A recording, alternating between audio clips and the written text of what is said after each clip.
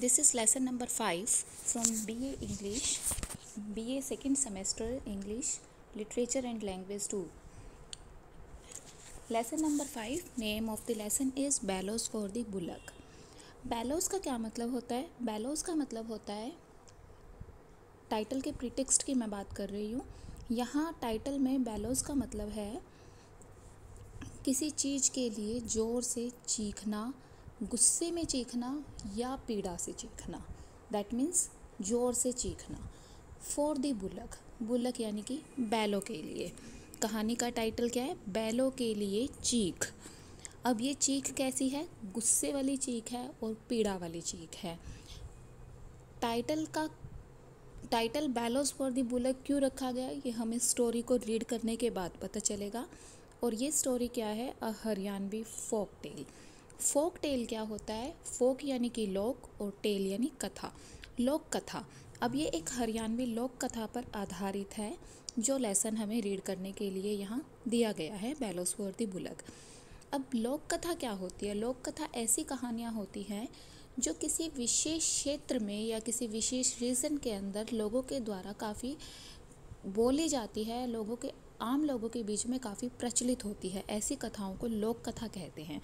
और हमारा ये जो लेसन है बैलोस फॉर द बुलक ये एक हरियाणवी लोक कथा पर आधारित है। बिफोर स्टार्टिंग दिस लेसन और we may call story let us read about this story this is the popular folk tale of Haryana and contiguous areas of Rajasthan and Uttar Pradesh ये जो कहानी है, ये हरियाणा और हरियाणा के लगते क्षेत्रों, राजस्थान और उत्तर प्रदेश में प्रचलित एक लोक कथा है, एक फ़ेमस लोक कथा है, जिसका ओरिजिनल टाइटल है धंधा ढाई का and is also frequently use an idiom to mean back to the same situation जिसका, जो, जिसे एक हम मुहावरे के तौर पर भी यूज़ करते हैं और इस मुहावरे का धंधा ढाई का अर्थ होता है back to the same situation मतलब कि पहले वाली परिस्थिति में वापस आ जाना। Means that we may say that the story bellows for the bullock is based on a Haryanvi folk tale और जिसका ओरिजिनल टाइटल है धंधा ढाई का। तो चलिए स्टार्ट करते हैं अपने इस लेसन को।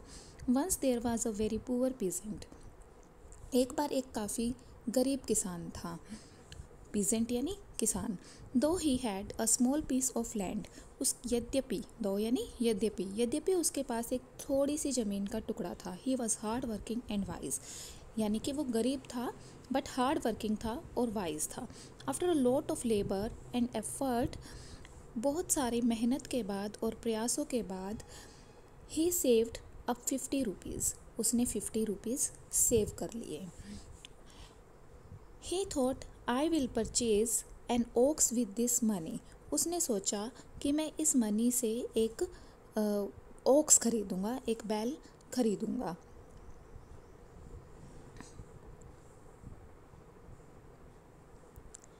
I will purchase an ox with this money and along with another poor peasant make a pair of oxen और मैं जैसा कि एक बैल खरीदूँगा तो दूसरे गरीब किसी किसान के साथ उसके जोड़े को यूज़ उसके बैल को यूज़ करके बैलों का एक जोड़ा बना लूँगा।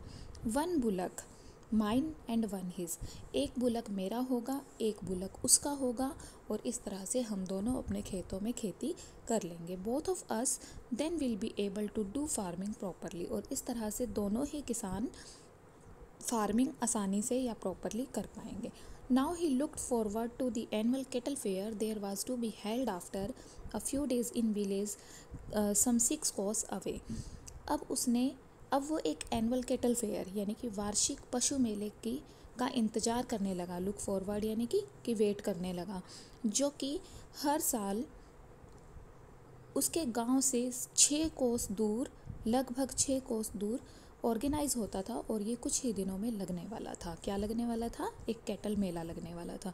तो peasant went to the fair to buy a bullock और ये किसान इस मेले में एक बुलक यानी कि बैल खरीदने के लिए चला गया। He tried a lot but how could one get a bullock of a good breed for fifty rupees जैसा कि उसकी फिफ्टी रुपीज़ की बचत थी तो उसने काफ़ी ट्राई किया, लेकिन पचास रुपये में एक अच्छी नस्ल का बैल कैसे मिल सकता था? At last he was able to find an old bullock finally उसने एक बूढ़ा बैल खरीद लिया। The bullock was no doubt old. इसमें संदेह नहीं था कि बैल बूढ़ा था but because of its good breed had no blemish लेकिन उसकी प्रजाति अच्छी थी, इसकी वजह से इसमें कोई दोष भी नहीं था। The peasant thought he will be he will do fine किसान ने सोचा कि ये बैल सही रहेगा। In any case better than no bullock at all और कम से कम कोई बैल ना होने से तो अच्छा ही होगा। Having bought the bullock the peasant went back to the village और बैल खरीद कर पीजेंट अपने, यानी किसान अपने गाँव वापस जाने लगा। On the way late in the evening he came across a small dhani धानी क्या होता है? खेतों के बीच में एक घर। और जब वो इवनिंग में लेट इवनिंग में अपने घर वापस जा रहा था विलेज जा रहा था तो वहाँ उसने एक धानी देखी, छोटी सी धानी देखी। To spend the night he approach the premise of a well to do farmer और अपनी नाइट यहाँ बिताने के लिए वो एक समृद्ध किसान के आँगन में इस तरह से पहुँच जाता है। But it turn out to be the house of thug उसने तो सोचा था कि ये किसी किसान का घर है, लेकिन ये एक ठग का घर निकलता है।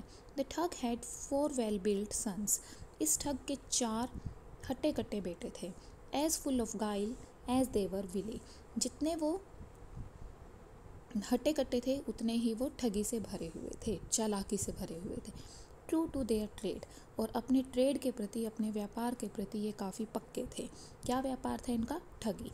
All of them instantly sensed that the peasants was a simpleton उन सभी ने तुरंत से इंस्टेंटली यानी तुरंत से तुरंत से समझ लिया सेंस्ड यानी समझ लिया कि ये जो किसान था, ये एक सिंपल्टन था, यानी साधारण सा भोला भाला व्यक्ति था and could be conned easily conned यानी मूर्ख बनाना या ठगा जाना, और इसे आसानी से ठगा जा सकता था। They said to the peasant उन्होंने किसान से कहा why don't you sell the bullock तुम अपने इस बैल को बेच क्यों नहीं देते? Peasant thought that there was nothing wrong if you could make a profit of twenty और थर्टी ओड रुपीज़ तो पीजेंट ने सोचा कि इसमें कोई गलत नहीं है, अगर मैं इस बैल से बीस तीस रुपये कमा लेता हूँ तो।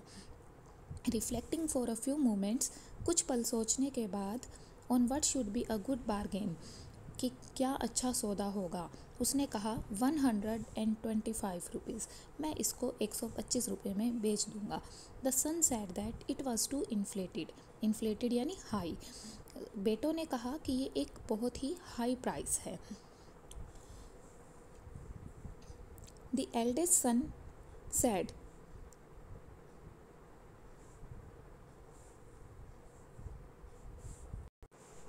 Chaudhary we can't come to an agreement on this price सबसे बड़े बेटे ने कहा किसान को कि हम इस प्राइस पर सहमत नहीं हो सकते हैं। The difference in price is huge क्योंकि तुमने जो प्राइस बताया है, उसमें काफ़ी अंतर है। Then what should we do the peasant ask किसान ने पूछा तो हमें क्या करना चाहिए? Another one of the son said दूसरे बेटे ने कहा let us make some wise old man our panch हम अपने पर हम किसी बूढ़े वाइज मैन को, बुद्धिमान व्यक्ति को अपना पंच बना लेते हैं। Let the price be what he says और जो वो कहेगा, उसी को प्राइस समझ लेंगे। What we are waiting for then फिर हम किस चीज़ की वेट कर रहे हैं? Sitting right there is our tau. यहाँ हमारे ताऊ जी बैठे हैं। अ वाइज ओल्ड मैन जो कि एक बुद्धिमान और बूढ़े आदमी है। Said the simple peasant looking at the old thug who pretended to be maintaining his distance and aloofness from the bargaining और ये बात किसने कही? कि हम इन ताऊ से अपना जो बारगेनिंग है या प्राइस है, वो डिसाइड करा लेते हैं। ये उस बेचारे किसान ने कही सीधे साधे, जो कि उस बूढ़े ठग को देख रहा था बैठे हुए। और ये बूढ़ा ठग प्रिटेंड कर रहा था, दिखावा कर रहा था to be maintaining his distance and aloofness from the bargaining इस सौदे से अलगाव को। वो दिखा रहा था कि मुझे इस सौदे से कोई लेना देना नहीं है। Peasant did not suspect that his simplicity and straightforwardness was getting him into a trap और ये किसान समझ ही नहीं पाया, ये संदेह ही नहीं कर पाया कि उसकी सिंप्लिसिटी और स्ट्रेट फॉरवर्डनेस से वो एक जाल में फंस रहा है। The thug and his sons were happy to get their way so easily ठग और उसके बेटे इतनी आसानी से रास्ता बने, बनते रहने पर काफ़ी खुश हो रहे थे। They got they got what they wanted. उन्हें वो मिल रहा था जो वो चाह रहे थे, the Chaudhary agreed. To make their father arbiter. अब इस तरह से ये जो चौधरी था या किसान था, ये उनके फादर को बिचौलिया, आर्बिटर यानी कि बिचौलिया बनाने पर सहमत हो जाता है। The old thug had to be address twice. Before his attention could be drawn to the affair और इस बूढ़े ठग को दो बार पुकारना पड़ता है। इससे पहले कि वो इस अफेयर यानी कि मामले में दखल अंदाजी देता। ये जानबूझकर कर रहा था, दिखावा कि मुझे इससे कोई लेना देना नहीं है। इसीलिए वो ना सुनने की एक्टिंग करता है और उसे दो बार पुकारना पड़ता है। In order to make the peasant commit fully to their game plan to their game game plan he said और पूरी तरह से पीजेंट को अपने गेम में फंसाने के लिए, अपने प्लान में फंसाने के लिए इस बूढ़े व्यक्ति ने, जो कि ठगों का फादर था, क्या कहा? नो फोक्स नहीं नहीं. I don't want to get into any quibble मुझे किसी क्वीबल में, मुझे किसी भी पहेली में, किसी भी सुलझ, मुद्दे को सुलझाने में नहीं पड़ना है। I am an old man मैं एक बूढ़ा आदमी हूँ। I bid my time in prayers मैं अपना टाइम भगवान की प्रेयर्स में बिताता हूँ। दैट्स ऑल और यही बस इतना ही करता हूँ। इतना ही चाहिए मुझे। द पीजेंट वॉज़ ओवरवेल्म्ड उसकी बात सुनकर किसान बहुत ही गदगद हो गया। मतलब दिल से खुश हो गया। ही रेवरेंटली रेवरेंटली यानी आदरपूर्वक। ही रेवरेंटली सैड उसने आदरपूर्वक कहा ताऊ यू आर आर एल्डर कि तुम हमारे बड़े हो you are wise and experienced तुम बुद्धिमान भी हो और अनुभवी भी हो। We will look up to people like you to help us get out of difficult and tricky situations और हम जैसे लोग, तुम्हारे जैसे लोगों की तरफ़ देखते हैं जब कोई मुश्किल या ट्रिकी सिचुएशन में फंस जाते हैं लाइफ में। Whatever price you may suggest I will accept और जो भी प्राइस तुम कहोगे मैं वो स्वीकार कर लूँगा। And we too shall accept said all the four sons in unison unison होता है एक सुर में, एक मत होकर। और and we too shall accept और हम भी एक्सेप्ट कर लेंगे। उसके चारों बेटों ने एक आवाज़ में कहा मेंटेनिंग ए प्रैक्टिस अटैचमेंट और फिर भी एक अलगाव को मतलब ये दिखाते हुए कि मुझे कोई मतलब नहीं है। इस तरह के अलगाव को मेंटेन करते हुए the old thug began old ठग ने कहा look brother though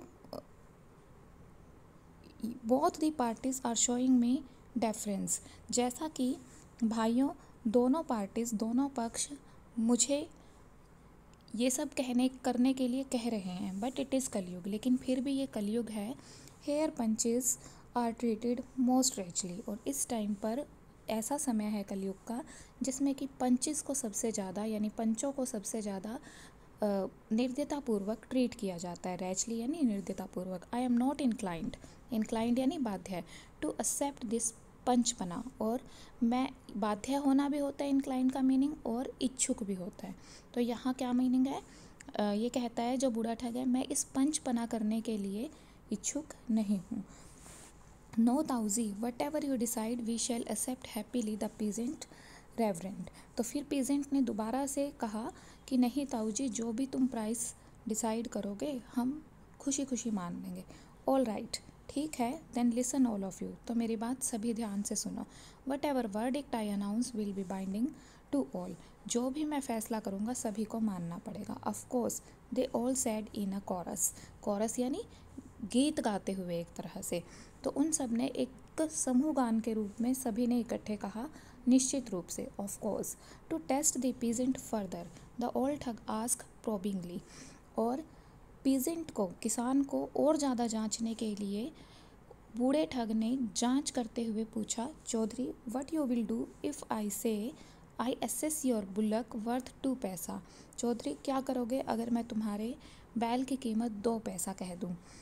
तो किसान क्या कहता है I will abide by that too the peasant said unflinchingly unflinchingly का मतलब होता है दृढ़तापूर्वक। तब किसान ने दृढ़तापूर्वक कहा, मैं वो भी मान लूँगा। अबाइड बाय यानी पालन करना, मैं उसका भी पालन करूँगा। He had complete faith in the judiciousness of the wise old man ऐसा उसने क्यों कहा? क्योंकि उसको इस बूढ़े ओल्ड मैन की बूढ़े वाइज मैन की निष्पक्षता के अंदर, न्यायप्रियता के अंदर काफ़ी विश्वास हो गया था। Turning to his sons the oldest oldster said और अपने बेटों की तरफ़ मुड़ते हुए उस बूढ़े ने कहा, छोरियो I will assess the Chaudhary's bullock worth thousand rupees will you agree अगर मैं इस चौधरी के बुलक की कीमत एक हज़ार रुपये लगा दूँ तो क्या तुम मान जाओगे? हाँ दे अबाउड तो उन्होंने कहा हाँ हम मान जाएँगे. देन इट्स ऑल राइट तो ठीक है। Now I can adjudge it adjudging adjust it तो ठीक है, अब मैं न्याय कर सकता हूँ। Saying this old man got up ये कहते हुए वो अपने कोट से, यानी कि चारपाई से खड़ा होता है and started looking at the bullock और बुलक की तरफ़ देखता है from all sides and angles चारों तरफ़ से देखता है, चारों कोनों से देखता है and examining it very carefully और इसका बहुत ही सावधानीपूर्वक निरीक्षण करता है।